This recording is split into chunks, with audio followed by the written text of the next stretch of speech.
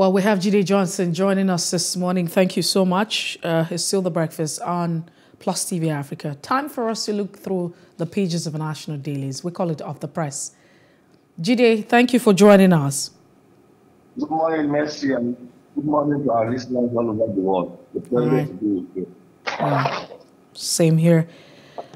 Travelers, residents stranded as flood grounds Lokoja. That's boldly written. And north cut off from the south. Economic activities stalled. Oil marketers blame fuel scarcity on situation. FRSC advises commuters to take alternative routes. Suleja, Bida, Mokwa Road for Southwest Nasarawa Otukpo access for Southeast travelers. Uh, you know, it's more like an alternative suggestion. Is is a serious one. We understand that the issue of flooding is a national crisis, but this is very critical because of the connection and the link, you know, between a, a certain region of the country, that's the north, northern part of the country, and the southern part of the country. So you have the northern part and the southern part. It calls for, you know, a serious concern because it might just be a divider, right? If people cannot move freely and connect uh, from one part to another, then that's a big problem. Uh, well, that's it on uh, the leadership. But just before we move away, we'll fight for full return of $5 billion Abacha loot. That's what the president of the Federal Republic of Nigeria, President Muhammadu Buhari, is quoted to say. And again, you find man condemns attack. Kogi threatens to recover cement company. After 12 days in London, Tinubu returns to Nigeria. It's uh, also another one you find. And 2023 campaign finance INEC invokes 50,000 naira donation limit. So, I mean, the limit that should be given to any party, 50,000 naira. Well, that's it. This morning on the leadership, we move away quickly and we have the Nation newspaper in front. Buhari to military replicate Northeast fate uh, nationwide. And President visits rescued train passengers. Train service on Abuja Kaduna route returns soon. I'm happy to be back, says uh, the flag bearer of the All Progressive Congress, Bola. Lai Mohammed PDP clash over corruption claim. 2023 budget, reps OK's uh, 8.43 trillion naira new borrowing plan. And just before we move away from the nation, you have Ethiopia suspends visa on arrival policy. Rivers Assembly deletes an ex-governor, find out who we're talking about. Ngige accuses Jega of bias in federal government and ASUU face-off. Quite interesting issues right there on the nation. We have the punch, PDP crisis, aggrieved governor's report Atiku to BOT, list peace conditions. Ex-vice president on post-primary promise to Wike, uh, London deal. That's what the source is quoted to say. Wike moves against Atiku's ally and deletes an ex-governor. Atiku will shock Nigerians, win with 7 million votes margin. Ayu, the chairman of the party, is making a boast. of course, it's just natural that that should happen. Federal government reviews the rail security and Buhari meets uh, freed hostages. Court rules on ASUU's appeal out of court settlements failed. Budgets, reps justify 8.4 trillion naira borrowing, 6.3 trillion naira debt servicing. That's uh, in 2023. 82-year-old French writer wins a Nobel Prize in Literature. And CBN disburses over 2 trillion naira to 426 industries. And Kogi claims uh, the plant ownership as Dangote, man kicks. Again, you find excitement as uh, Bola Tinubu returns from the United Kingdom and prepares for campaign. Ogun tanker chased by miscreant explodes, three killed, 12 vehicles burnt. Abuja petrol scarcity persists as federal government blames the Kogi flood. so there's a lot that's going on. Well, really saddening. And we turn attention to the Nigerian Tribune uh, quickly before uh, we call it a wrap here and have Jide Johnson share his thoughts. On the Nigerian Tribune, twists and turns in Wike's rivers. Assembly derecognizes an ex-governor, orders him to refund 696.5 million within seven days. Governor to assent document today. And government withdraws criminal charge against Amaechi and Cole, others. Why I want to be Alaafin at 84. Uh, find out who's talking about. It's an archbishop, if you say. 14 days after leaving for the United Kingdom, uh, Bola Tinubu returns to Nigeria. 11 banks shortlisted to disburse $350 million.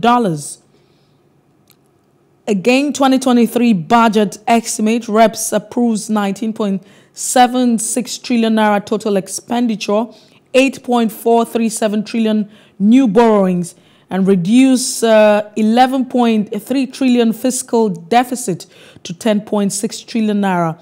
Approves 1.7 trillion naira fuel subsidy against Senate's 3.6 trillion naira. I mean, there's a lot right here. Nigeria has received over 2,000 military fighting equipment in seven years. That's what Buhari is quoted to say. Abacha siphoned $5 billion to West. He says, and youth's protests in Ibadan over EFCC arrest is something that uh, made the rounds yesterday. Federal government ASUU consultation for out-of-court settlement fails and court to rule on ASUU's application today, especially when they are confronting the new faction or new union that has been created. Two die, 12 vehicles burnt as tanker crashes in Ogun State. The headlines are, you know, a bit to the side and to the other side. Not totally, uh, you know, happy headlines or stories, if you like to say, but a bit of everything. But we have Jide Johnson join us. Straight up to him. Jide, thank you so much for being part of the show. So let's start off with the issue of uh, the flooding in Kogi State. I mean, it's a lot that's going on from the pictures, uh, the videos, the reports, and the feelers that we're getting. What are your thoughts, really? Do you think that this is a man-made situation or it's a natural disaster?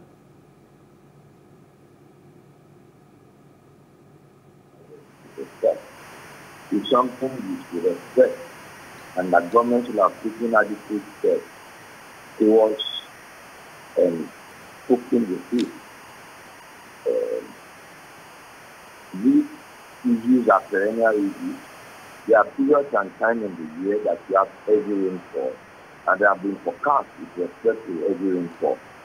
So, one would have expected agencies of federal government and agencies of state government and even the local government are taking one or two steps to ensure that lives and property are protected, free passage are also provided for, for commuters, both for, both for personal and business and opportunities.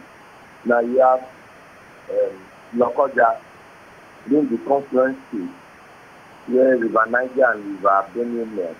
So if you expect this and you take steps towards addressing this. But what did we do? We only see the governor dancing on social media and doing other things other than facing government. So as far as I'm concerned, God has really been kind to us in, in Nigeria, particularly and in Africa. Just imagine if we experience what Florida experienced in, in America experience in Asia during the monsoon season, I'm not too sure a lot of people will survive because we don't have, we don't know how to respond to emergencies and we don't know how to respond to natural disasters that have been predicted or forecasted ahead of time.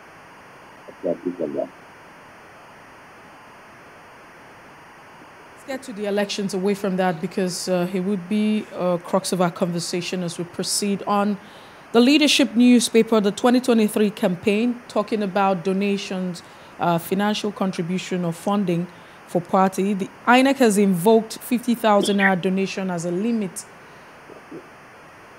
What are your thoughts on it? 50,000 naira as a limit for donation. Do you think that uh, that's enough? Is it, is it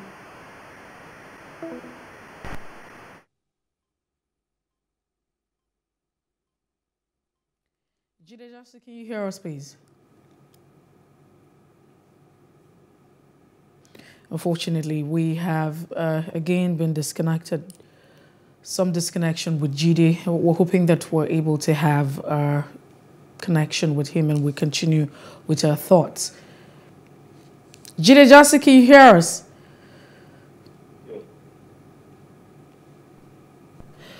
I Okay. can hear you. All right, so go ahead with your thoughts. Well, uh, this is where INEC, I see that it invokes, I think there's a provision in the Electoral Act with respect to um, with respect to the minimum and maximum donation that can be made by an individual for a campaign. But I think INEC needs to collaborate with the banks. INEC needs to collaborate. This is where ESG should be more, much more effective, other than um, focusing more on parading um, Nigerian youths that are engaged in in 419 and fraud. I'm not saying they should take their eyes off the ball with that. They should do that. But much more attention should be paid to people depleting our national resources. And this is where there should be an interagency collaboration. The CBN with the commercial banks plus E- EFCC and INEC, they should work together in ensuring that there's a compliance with these provisions of the law that limit the certain amount of money that um, an individual could, co- could contribute to, to, to as donations to a political party. And um, also, INEC should also ensure that they look into the books. I think that part of what should form the basis of this electionary campaign is that the, the, the, the auditing of, of political parties' accounts. You recall last week we were talking two weeks ago we were talking about money that were that were about money that some members of the National Working Committee of PDP wanted to return because it was it was approved for them by by the national chairman. So nobody looks into the accounts of the political party are not properly audited. If you don't properly audit the accounts, how would you be able to ensure that they comply with the provisions of the law with respect to uh, campaign finance campaign finance regulation? So there should be an interagency. It's important that we don't allow money to influence our election. And we must take steps so that money backs don't hijack. But how do you ensure that when doing the primaries, dollars were being shared left, right, and center? So I, I don't know. I think it should start from the primary itself. It should also start from the nomination itself. Where should someone paying 25 million, 100 million to become to become a governor or a president? These are areas in which INEC needs to put. If you don't have money, you can't take nomination to run for any party. So it, should should should not be limited towards the main election alone. It should start even from the process of picking the candidate, so that we can sanitize the process and we can allow people that have integrity but that do not have the resources, do not have money back supporting them to win an election. And that's that's the goal and that's the purpose. All right, then. But but how do you think that INEC will be able to monitor this and ensure compliance? I mean, so if you say that there's a limitation to how much That- that can be donated, I don't know if that's for an individual or uh, you know for a group, right? But what's the? I'm uh, sure that must I'm sure that must be for an individual. How can INEC do that? It's for INEC to do its oversight function. INEC has oversight function in looking into the books of the political party. And INEC cannot do this alone. INEC must work with other agencies of government. You have other agencies of government that INEC needs to collaborate. That's why you have inter-agency dependence. For example, INEC can work with NBC, INEC, which controls the broadcast media, can work with um, PAN, which controls the print media, and then work with EFCC, ICPC, Central Bank, to ensure that the books, the, the sources of funding for this political party are, are, are investigated. There's no way if you have this inter, inter, interagency dependence and interagency collaboration that the political parties will go scot free, spending money beyond what is approved or what is allowed by by by by by, by the electoral elect, by the electoral laws in Nigeria. And this is the best way to do it. INEC on its own cannot do it. INEC will need to work, but the challenge we have in Nigeria is that we don't have interagency collaboration and cooperation. You see, it is during the day of the election that you see EFCC agents parading left, right, and center looking for vote buying.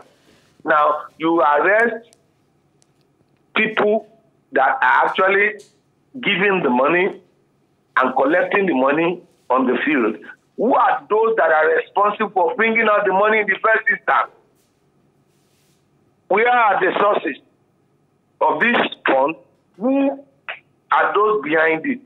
You will not see. It's just parade one or two or three or four four people. After that election, not a single one was prosecuted.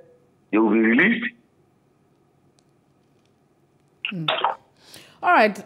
So let's look at the PDP issue and uh, you know the crisis in the party now. Uh, uh, the Punch says that aggrieved governors have reported Atiku to the BOT and they have list uh, they have a list of peace conditions now for a party that is a major opposition party in the country.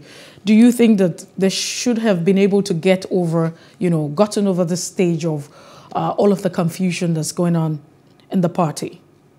Know, the, the challenge of PDP, which is also the duty of PDP, if you check from inception, is about um, um, no single individual or groups of individuals have absolute control over that party. If you check the history, it's an advantage and at the same time it's a disadvantage.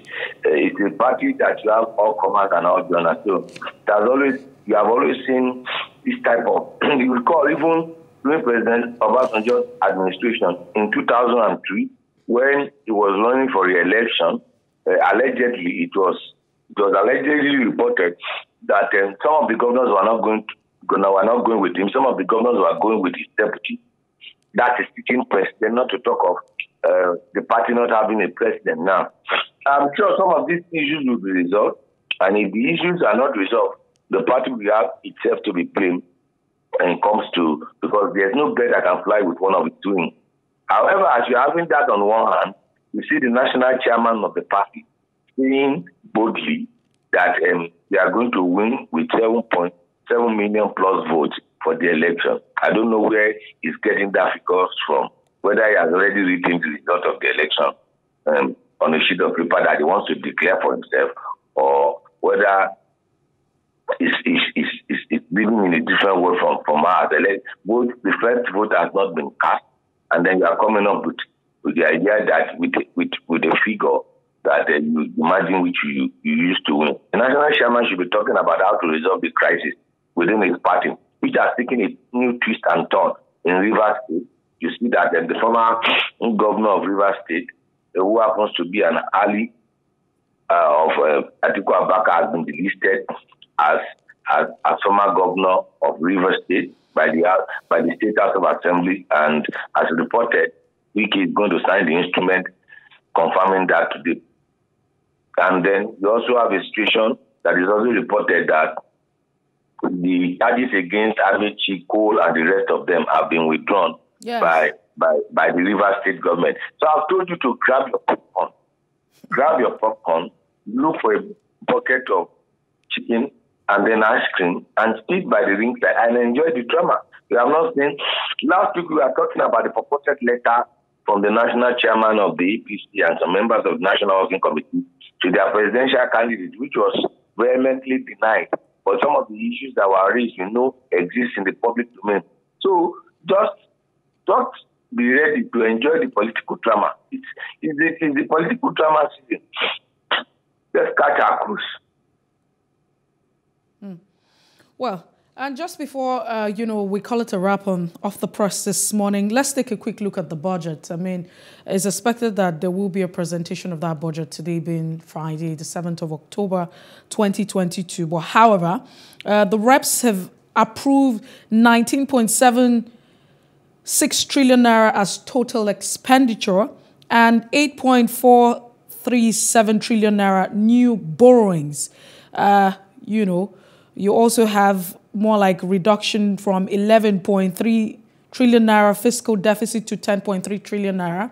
Some people say that that's a good thing. An approval of 1.7 trillion naira fuel subsidy against the Senate's 3.6 trillion naira. Uh, Jide Johnson, quickly share your thoughts on this one. Well, as far as I'm concerned, it's not just about the budget presentation. It's about the monitoring and tracking what was the performance of the budget for 2022? And we are talking about the budget performance of 2023. We don't have a situation of tracking and monitoring funds that are that that are appropriated for a financial year. We also we always see these figures, and government will come and bandy these figures. To what extent? To what percentage? How many uh, percentage? Is it sixty percent? Did we uh, did we execute this 2022 budget to 60% or 70% or 80% um, compliance with what was stated in the bill that was uh, that was that was passed by the National Assembly and assented to by the President. As far as I'm concerned, does it reflect on the cost of living and the standard of living of an average Nigerian? It's not about those reductions, it's not about those figures. The budget should be able to reflect on the cost of living and the standard of living on Nigerian. That's why we begin to talk about budget. And I think moving forward, when next government comes into power, the media should focus more on budget tracking, budget monitoring to ensure that they are compliant with the, the, the, the, the appropriation bill. Once it is passed and assented, it's an act of the parliament. So if you don't comply with the act of the parliament, it's an impeachable offense. It's an impeachable offense. So we must ensure that the instrumentality of the states are used to ensure compliance with whatever provisions you have made in the appropriation bill that is approved as and assented to by the president after the passage by the National Assembly. That that that's what I'm interested. In. What we have been seeing, Mercy, is just figures, figures, figures, figures figures that does not have any effect on the lifestyle of an average Nigerian. Well, Jide Johnson, thank you so much. Uh, we appreciate your thoughts this morning on the front pages of our national dailies. We look forward it's to sharing more of it on Friday. That's next week. Well, thank you once again for joining us uh, this morning on the show. We take a break, but, but just before that break, let's quickly tell you what happened today in history being the seventh day in October. Stay with us.